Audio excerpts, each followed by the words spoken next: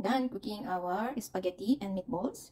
So, Hi guys! So magluluto na naman tayo. So ang lulutuin natin ngayon is uh, spaghetti meatballs. So ito yung ating mga gagamitin na ingredients sa ating spaghetti meatballs.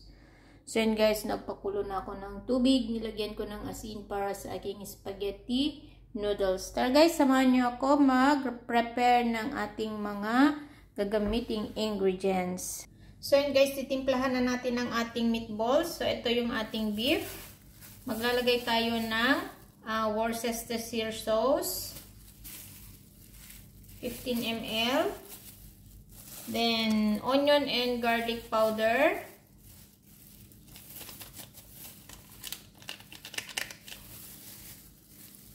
Pepper.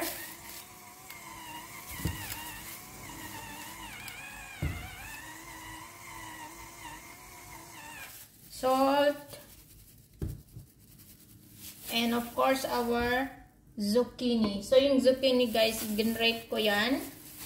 So ihahalo natin siya sa ating gagawing meatballs. So then inid lang natin.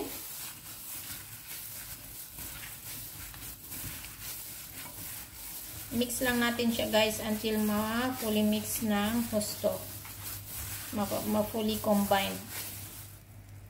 Once na na-mix na natin siya ng guys ng gusto, once na na-combine na ng gusto yung ating mga ingredients, i-form na natin siya ng ball para maging meatballs siya.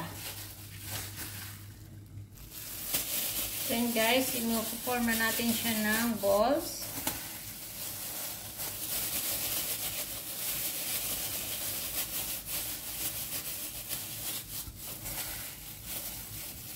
Hanggang sa maubos natin yung ating meatballs.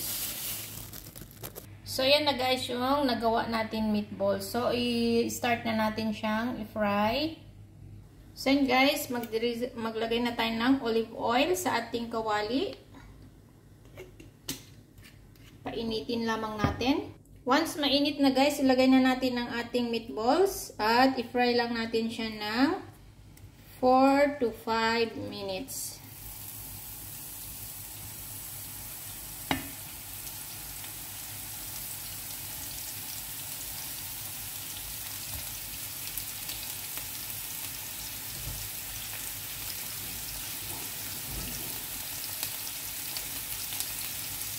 Fry for 4 to 5 minutes.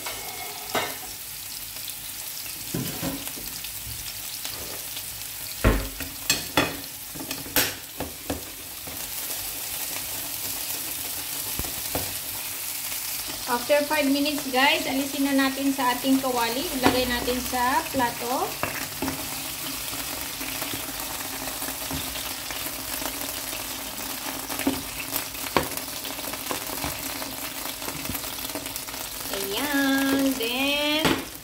Ilagay na natin ang ating uh, carrots.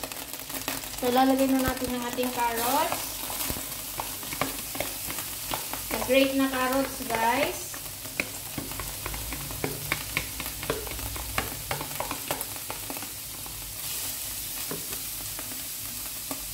And onion.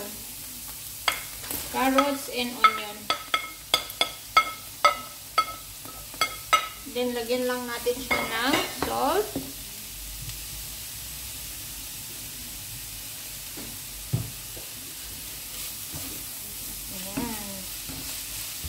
Then, cook for 5 minutes.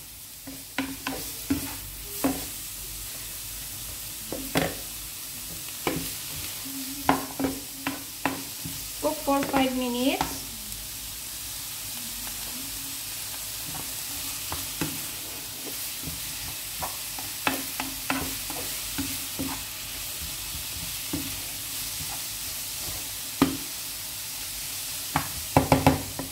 After 5 minutes, ilagay na natin ang ating garlic.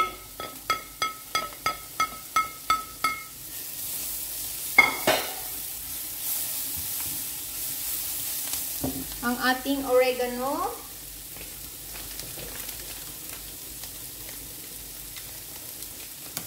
oregano,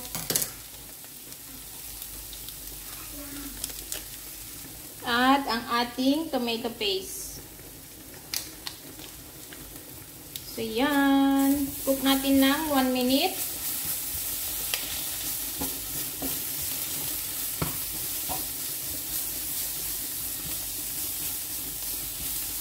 Then, ilagay na natin ang ating chopped tomato. So, ang ating chopped tomato. At ang water, water is, mag-add tayo ng water, 50 ml.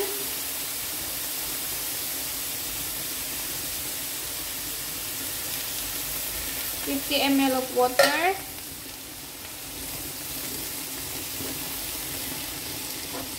Oh, bango.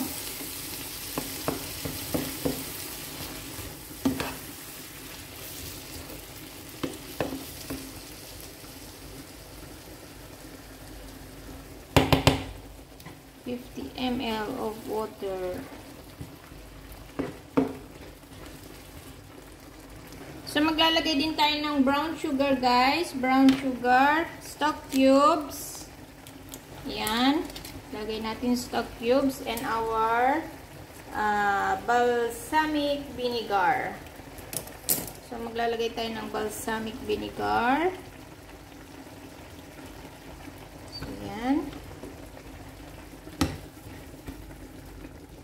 Simmer lang natin siya, guys, ng uh, 6 minutes.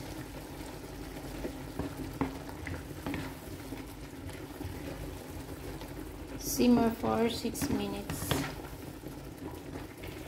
So yun guys, after that simmer, ilagay na natin ang ating uh, meatballs. Ihahalo na natin ang ating meatballs. Ayan. Then simmer natin ulit ng 5 minutes. So yan. Simmer na natin ng 5 minutes ang ating meatballs. Takpan natin. Ayan. Oh, yummy. spaghetti meatballs. So, yung pasta natin guys, malapit na rin siyang maluto. Yan. Cover natin guys para maluto yung meat natin siya ng konti. Yan. 6 minutes. So, yung ating pasta is malapit nang maluto. So, yan guys, tingnan na natin ang ating meatballs. Wow! Super yummy guys. Ang bango. Hmm, bango-bango ng ating meatballs. Ayan ang ating meatballs guys. At yung ating pasta, i-drain na din natin. Luto na din siya. So ayan guys. Luto na ang ating meatballs. So i-drain na natin ang ating pasta.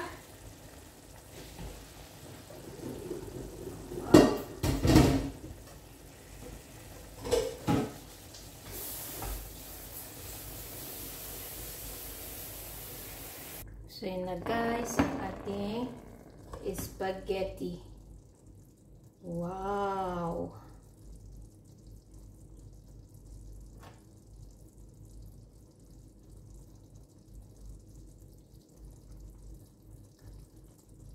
Yummy, yummy, yummy! Yummy spaghetti meatballs. So, yan guys, ang ating spaghetti meatballs. Ang sarap ng kanyang timpla.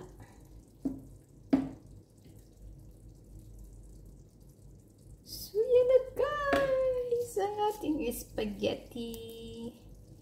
Yummy, yummy! So, yan. Favorite yan guys ng aking uh, alaga. So, ayan guys.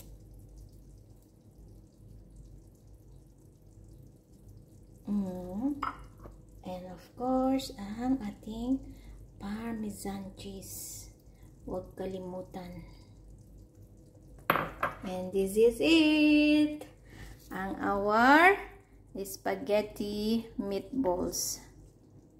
So, yun na guys. Tapos na naman tayo sa ating cooking. Ayan ang ating recipe, ang spaghetti um, meatballs. Favorite ng aking alaga. So, yan na guys. Tapos na tayo sa ating cooking. Thank you for watching!